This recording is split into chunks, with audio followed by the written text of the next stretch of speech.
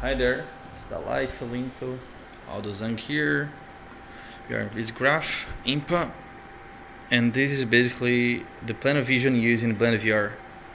That's what I'd like to showcase here. Uh, what I have here is this uh, desk. Okay, here it's simply a desk with a projector projecting from, above, from above, which is a stereo projector. That's why that's why I get some ghosting, and I have some tracking on here. In this case, with the cap. So here under the light. You see the cap. If I move the cap, the the head position in the scene moves accordingly. And nice thing is, if I move the cap with the camera, or rather, the camera with the cap, you get you see that the, the scene itself is changing. So you see the monkey. Now you get to see the backside of the monkey. Can go very close. Can go very very far. Uh, the other thing I'd like to show just quickly is that I don't know if you can see this in the video. Uh, maybe you can. Anyway, this is one of these uh, active shutter glasses. So each eye gets a different image. And yeah. Just to illustrate the what happens with the tracking. Still at level. So now we're gonna stay put while the while Aldo moves around with the cap.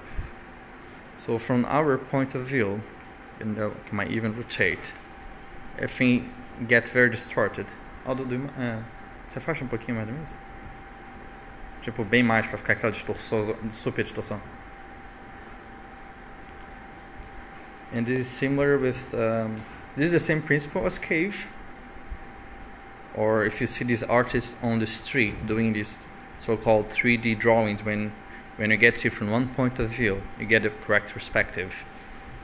Uh, just the difference here between this system and a cave is that in the cave, the head orientation is taken into account to calculate the, the matrices, the OpenGL matrices, while in this case, uh, we assume, might give the, the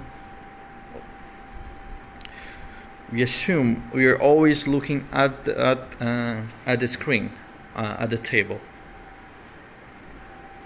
So otherwise, if you're actually taking the head into consideration, when you're going from one side to the other side of the table, you'd have to flip the stereo glasses to get the correct stereo perspective feeling.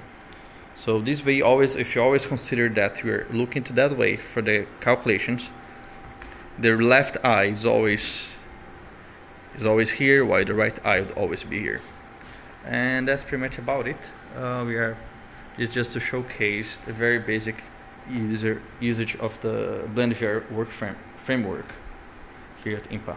Bye.